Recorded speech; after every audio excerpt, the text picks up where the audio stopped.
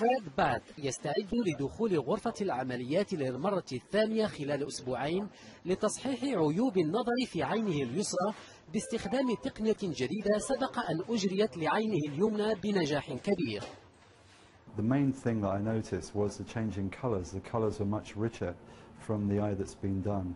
And whereas you thought you were seeing pure whites before with the other eyes, now it's really pure white. And when you cover the new eye up, through the other eye, looks like cream instead of white. بوبي قرشي الجراح الوحيد في بريطانيا المدرب على استخدام هذه التقنية الجديدة لمنح المصابين بالمياه البيضاء رؤية حادة تفوق أعلى درجات البراعة المرئية 20 على 20 الجراح أزال العدسة المصابة وزرع أخرى صغيرة جدا مصنوعة من السيليكون في جراحة لم تتجاوز 20 دقيقة ويمكن ضبطها لاحقا بعد التئام الجرح بأشعة الضوء.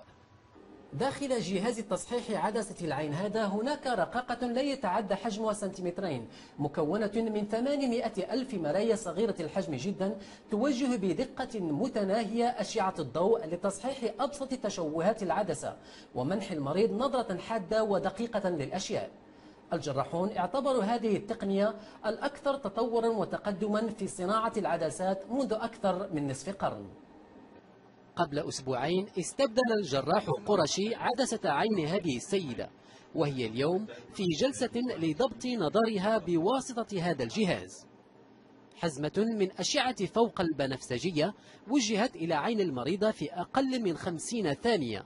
للتحكم في شكل وسماكة العدسة المصطنعة لاستعادة النظر بوضوح حاد. For the first time we can place an implant into the eye which we can adjust afterwards so we can fine-tune it to ensure they have the best vision possible. This is just the start of what we can do with this lens. The adjustment is so precise and accurate that we can compensate for other imperfections in the optical system of the eye. ولم يقتصر استخدام العدسات الاصطناعية هذه للتخلص من المياه البيضاء في العين بل أيضا لتصحيح عيوب طول النظر الذي يكون أحد مسبباته التقدم في السن. أجرى الطبيب قرشي ثمان عمليات جميعها كللت بالنجاح بكلفة لا تقل عن ثلاثة آلاف جنيه استرليني. استغنى المرضى على أثرها عن النظارات الطبية. مصطفى زارو العربية.